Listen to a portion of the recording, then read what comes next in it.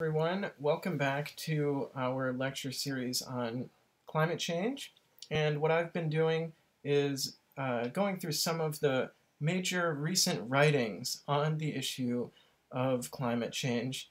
Uh, we looked at, in previous lectures, uh, Fossil Capital by Andreas Malm, and This uh, Changes Everything by Naomi Klein. and today, I'm going to talk about uh, a work by Michael Mann, and Tom Toles uh, called The Madhouse Effect. And what I do is I just offer a summary and a little bit of uh, analysis of the contents of the work. Um, all of these books that, that uh, I look at in this lecture series are important works dealing with climate change, and they really get to uh, uh, the heart of the issue from multiple different perspectives, I think, which is nice um, to, to kind of uh, uh, that's the benefit of reading many different works is you get these different perspectives. And today, as we'll see in uh, Michael Mann's work, uh, he is a climate scientist, and one of the strong points of the work is that he very clearly uh, articulates what the, the problem is and the issue of climate change in a language that is very easy to understand and often quite fun to read. So, uh, let's get started. And the work is Michael Mann and Tom Toles, uh, The Madhouse Effect, How Climate Change Denial is Threatening Our Planet, Destroying Our Politics, and Driving Us Crazy. Just some quick background. First, Michael Mann is a prominent climatologist and geophysicist at Penn State. He's famous for developing the hockey stick graph, which shows that global temperatures over a period, uh, it shows global temperatures over a period of 1,000 years, uh, and then it shows temperature rise at the latter part of the graph uh, from the Industrial Revolution and demonstrates how this is attributable to uh, human CO2 emissions. And Tom Toles is a, an American cartoonist who uh, writes for the Washington Post and uh, other publications. So I'll just go through each of the chapters, give a summary and a little bit of analysis, but save the main analysis for uh, the end of my talk. So in the preface of uh, The Madhouse Effect, the authors lay out their basic argument, which is that uh, the science of human-induced climate change has been hijacked by, quote, a campaign of deliberate misinformation and pseudoscience that has, quote, skewed public discourse. They note that climate change is a matter of politics over science, very importantly, and they aim to clarify the science to debunk the deniers and reveal the political manipulation of science. In chapter one, um, the authors go over the issue uh, broadly, and they begin by talking about what science is and basically, they say it's a self-correcting process. It's not always right, but it has mechanisms in place to correct itself so that it can eventually arrive at knowledge, basically, knowledge production. Um, skepticism is an important part of science, and science often challenge each other's findings, but, quote, deliberate confusion can also be sown under a false pretext of skepticism especially by those with political aims who aren't interested in establishing the truth, but rather just sowing seeds of doubt. And so this is an important part of uh, the Madhouse effect, is that it talks about, you know, how deniers use skepticism, basically, um, even though they themselves are not scientists and don't really have a grasp of the issues. The science of climate change is clear say the authors, but thanks to a war on science by powerful vested interests, mainly the fossil fuel industry, we now have we now live in a quote bizarro world where 24-hour right-wing media like Fox News presents alternative facts that sow doubt. And importantly, it's not just Fox News, it's actually all mainstream media, as Michael Mann says, because they frame they tend to frame climate change as a two sides issue. Now, this is maybe gradually starting to change where um, some news organizations or programs are saying, look, we're not going to debate climate change like there's two sides to this. I mean, it's a settled issue, it's science. Um, but in general, still the trend in mainstream media is, you know, to show both sides, um, which in the case of established facts uh, is actually undermining science. Uh, chapter 2, Climate Change, the Basics. And here, this is one of the strong points of Michael Mann's work, is that as a climate scientist, he just really clearly uh, lays out you know, what climate change is, and obviously shows that it's caused by uh, uh, humans in, in our present situation. So um, first, CO2 is a known heat-trapping gas. I mean, this is an undisputable fact. Uh, and second, humans are emitting CO2 by burning fossil fuels. So there, it's very simple. That's the issue. Um, obviously, the temperature is going to go up. We can measure the parts per million. Uh, we can measure CO2 in the atmosphere by parts per million. Before the Industrial Revolution, it was 280 parts per million. Now there are over 400. Um, and as a result, the Earth has warmed, warmed today uh, from the Industrial Revolution 1.5 degrees Celsius with projections showing 5 degrees Celsius uh, warming by the end of the century. What are the effects of this? Well, uh, some of them would be, uh, oops, I have to change this a bit here. Yes, uh, did not fit this all on the same page. Oops. So just go like this. Just put this all on a new slide. Why not?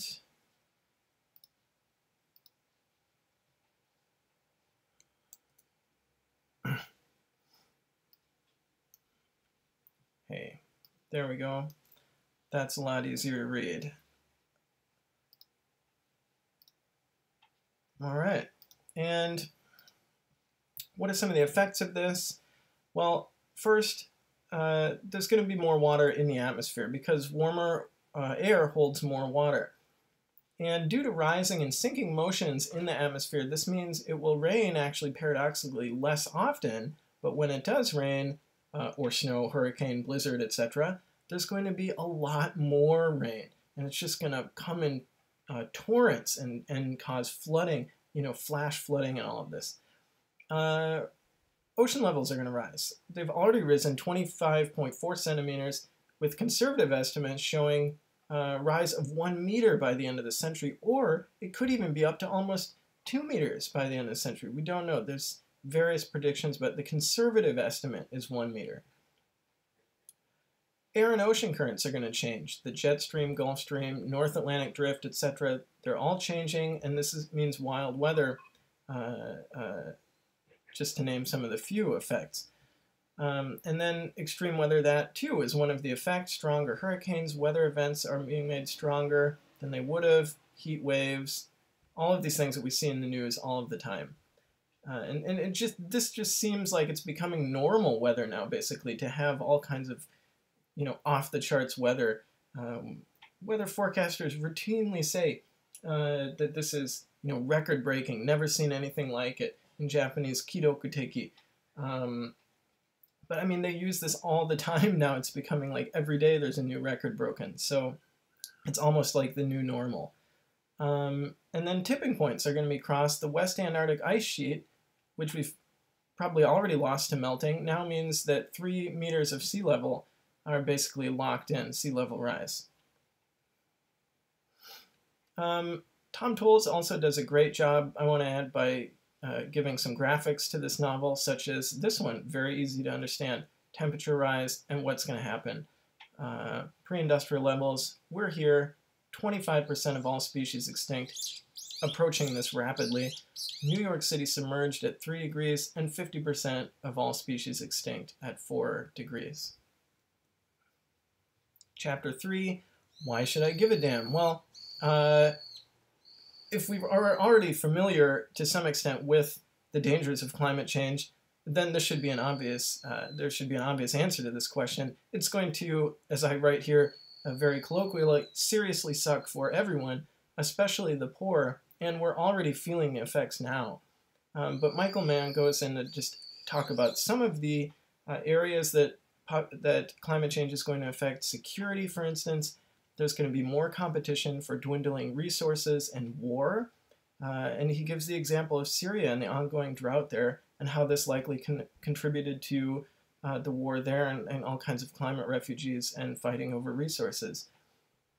There's going to be a decrease in food production. Um, less grains, massive die-offs in the ocean mean less seafood uh, for humans uh, and, and, for fish as well. There's going to be less water. Uh, the world, more of the world is going to be arid or semi-arid. Uh, and then as the globe gets warmer, meltwater from glaciers and ground aquifers are just going to dry up. Uh, there's going to be less land space. And we're already seeing deforestation through mass fires. Uh, areas of the world that are supposed to be cool or temperate at least are suddenly getting very hot and uh, dry, and this is creating more fires. Um, there's going to be massive population shifts. You know, people moving away from the coast, for instance, climate refugees. This is all going to take land. And then um, Michael Mann also kind of highlights a phenomenon of you know corporate interests taking more from the earth. And as we've already seen in Naomi Klein's work, uh, she would call this extractivism. Private corporations increasingly destroying more of the earth for personal profit. Uh, oh, and not to mention, of course, and not to forget, of course, uh, many of us will be underwater from rising sea levels. So there's land uh, lost there as well. We're going to suffer from poor health in general. We'll routinely face uh, threat of heat stroke, diseases, and allergies are already getting worse um, as well. The die-off of ecosystems. We're in the sixth mass extinction. This can't be stressed enough. Um, and then the economy. Well, it's pretty difficult to put a price on the planet, um, obviously, but you know we can try, and Michael Mann does. He gives a figure of a uh, cost of 1.2 trillion dollars to the world economy each year and rising from uh, disasters caused by or exacerbated by climate change. In chapter 4, he talks about the stages of denial, he says. And um, to be honest, I think mainly a lot of this just applies to the situation in the US. I don't know what it's like everywhere, um, but the US really does suffer from a massive disinformation campaign by the right wing and fossil fuel industries, as Michael Mann is showing. So he talks about these stages of denial, you know, cherry picking data, just rejecting it outright. Um, number four, claiming that it'll be good for us. And then number five is important, especially seeking a techno fix. And this is especially the idea that geoengineering or technology will save us from climate change. We don't have the technology to fix it now, but hey, sometime in the near future we will. Um, but this is just, I mean, a fallacy because no one can guarantee this. Um, and it's generally used for the political purpose of preventing meaningful action against the only real proven solution, which is to stop emitting CO2. In chapter 5, um, the authors talk about the war on climate science, how it began, they say, in the 1950s with the tobacco industry just attacking science in general by having this huge disinformation campaign saying, hey, smoking, you know, it's not that bad for you. And then um, they show how they say it continued in the, into the 1960s with a war on environmentalism. And this was led by large corporations against scientists like Rachel Carson and her book uh, Silent Spring, where she showed the negative effects of DDT and the company that man manufactured that, uh, of course, accordingly uh, protested against her work and tried to de deny her climate science. Uh, in the 1970s and the 1980s, this was a period of some climate legislation that was actually taken, and action was taken against acid rain and ozone depletion, for example. Laws were passed against uh, CFCs, for instance. And this was true in Japan as well. There was an area, era of uh, anti-pollution activism that did lead to some changes in some legislation, very important legislation. Um, so this leads Michael Mann to say that, quote, the simple fact is that environmental protection wasn't always the partisan political issue that it has become. but actually, to be honest, I have to strongly disagree with Michael Mann here his own data shows that this is not the case. Uh, protecting the environment has always been political. Uh, and uh, for instance, in Japan, just to cite some examples of the earliest uh, case of industrial pollution in modern Japan, in modern Japanese history, the Ashio copper mine, but also in the post-war, post-World War II, and the, with the Minamata uh, mercury poisoning uh, case as well. And where big corporations, again, basically tried to cover this up, pay off politicians, etc., um, and fight against these uh, victims of pollution. So, I mean, this is, I think, is just clearly wrong. It's always been a political issue. Michael Mann then cites a free market fundamentalism as a major roadblock. This is a, a clear, a clearly a correct observation. It meshes with Naomi Klein's uh, observations of the incompatibility between capitalism and the environment. Michael Mann uh, is probably not as left wing or progressive as Naomi Klein, I would imagine. So he never really specifically cites our uh, economic model as causing or exacerbating environmental problems. Um, but he does, interestingly, point out the commodification of scientific knowledge via what he calls deniers for hire, who sell, and these would be scientists um, who are paid off basically to sell their credentials to private corporations who then use them as a mouthpiece to push their political agendas. Um, he gives all kinds of examples of right wing organizations like the Cato Institute, the Heartland Institute, etc. But there's some other inconsistencies in Mann's argument. His basic idea seems to be that if we just had uh, access to the correct facts rather than disinformation, then we'd be okay and we wouldn't be in this mess. But he's talking about politics, and again, he's he's bringing it up. So I think we need to point this out that this is not, unfortunately, how how politics work. Politics is an inherently unequal game, uh, meaning that average people are at a disadvantage no matter how many facts they have. And this is an important point that Michael Mann does not point out, but it's um, a, a, it's something that you know he probably should have because any discussion of politics needs to have this in there. In chapter six, uh, he looks at um, climate denial again, especially going to specific examples in the U.S. So this book is pretty U.S. focused. Um, that might limit its accessibility for readers in some parts of the world.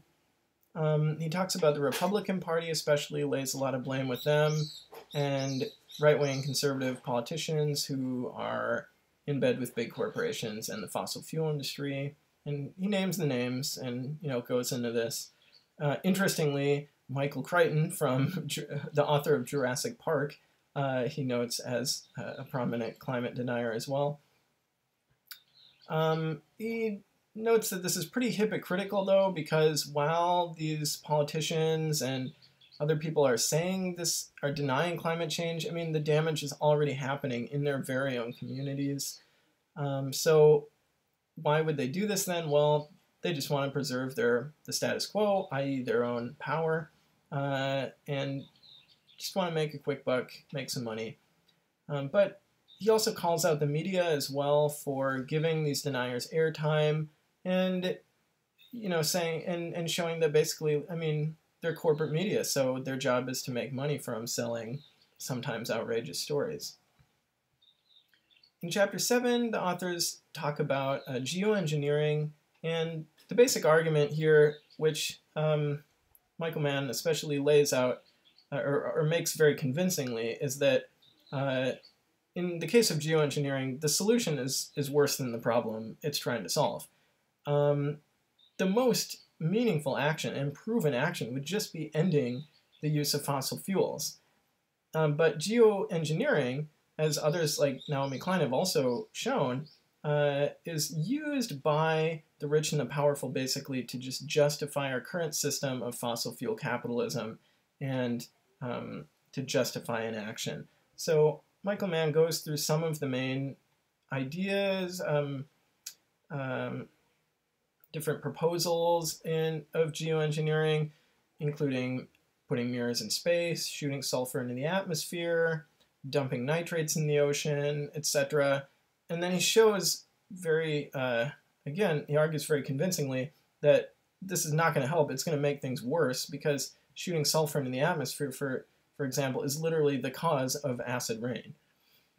Um, so probably not something we want to be doing or uh, living with. In chapter 8, this is the last chapter, um, he offers his path forward. And again, he shows, you know, we're burning through our carbon budget. If we want to keep the planet marginally livable, we need to be at zero emissions by 2050, and fossil fuels need to stay in the ground. So then he gives his proposals for a path forward. And I'll be honest, actually, this chapter is not so strong. I don't find his proposals to be very convincing, uh, certainly not as convincing as his arguments uh, for the science of climate change. But he, anyway, argues for executive action and he praises US presidents like President Obama and some legislation he made for fuel efficient cars. He talks about grassroots action, but he doesn't really go into any examples of actual civic movements. He just talks about examples of US mayors. So I don't know. I don't think that's exactly grassroots. And then he, he says there's also a need for global action. Well, of course, obviously this all seems true, but he doesn't really talk about any, you know, what would be some global legislation um, or how would we change a global economic system. Instead, he just goes back to U.S. presidential action and, quote, leadership.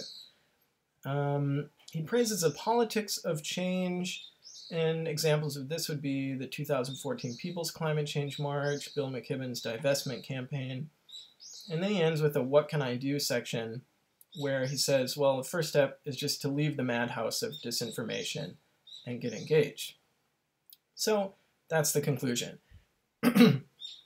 okay, now my analysis of this book, um, basically, I mean, I, I, liked it. It's a, it's a pretty easy read. Um, it's a pretty fun read, and I think people will probably, you know, if they don't learn, if you don't learn something from it, um, you'll at least have a better idea of how to communicate the science of climate change much more clearly and effectively.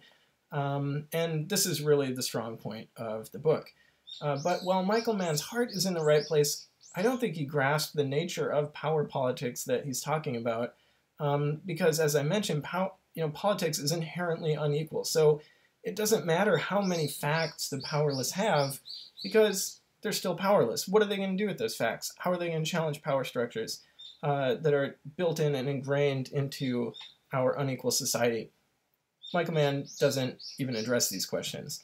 And also, he gives way too much credit to US Democrats, such as President Obama, um, without identifying how they also uh, have um, been in bed with corporations and fossil fuel companies, and how they're milquetoast solutions uh, are usually just kicking the can down the road.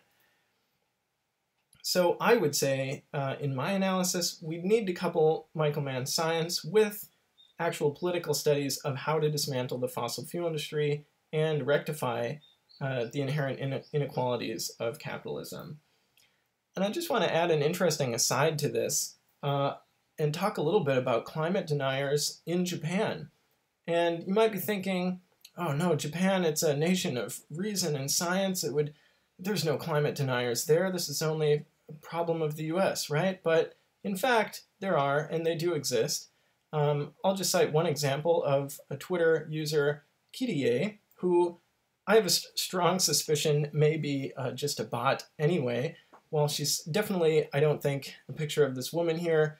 Um, if she's not a bot, then certainly a middle-aged uh, man troll who spews out disinformation on climate change by cherry picking data.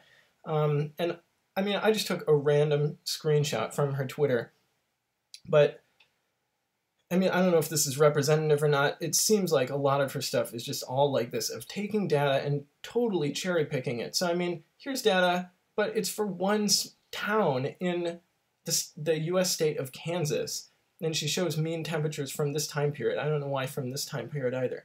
Um, but it's one small town, and she says, you know, like, oh, well, this goes against the, the idea of global warming. I mean, does it? It actually shows that it still seems like it's going up to me. Um, but this also, her comments really show how, uh, as Michael Mann said, these deniers, they peddle in skepticism. I mean, she asks, why do many media pretend to know nothing about that. Um, even though she, by her own admission, is not a scientist. You know, so why why is she making these graphs, these pseudoscientific graphs, and then you know throwing these like kind of smart sounding questions out there? I mean, it's just to cast doubt um, uh, and and to cover up the what is obviously a lack of knowledge and facts and a disinformation campaign. Okay, so that's the end of my talk. Uh, I hope you found this useful, and if maybe if you haven't already read the book, been inspired to give it a look. Uh, but even if you don't, I hope I've gone over some of the main points and kind of covered the contents uh, to to a certain degree. So thanks for listening, and hope to see you next time.